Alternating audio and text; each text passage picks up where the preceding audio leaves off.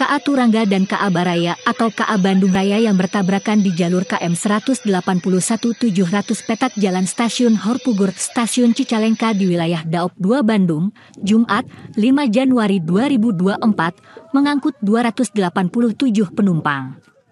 VP Public Relation PT KAI, Joni Martinus memastikan seluruh penumpang itu dalam kondisi selamat.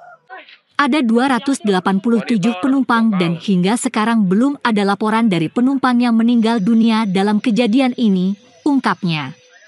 Meski demikian pihaknya terus melakukan pemeriksaan lebih lanjut dari kondisi penumpang kedua KA yang terlibat. Prioritas untuk evaluasi dan menyelamatkan penumpang dulu, dan memastikan tidak ada lagi penumpang maupun kru yang masih ada di dalam kereta. Lanjutnya, selain itu, pihaknya kami berupaya tetap melakukan operasional kereta api dengan rute memutar. Kita melalui jalur utara, memutar untuk operasionalnya, tambahnya.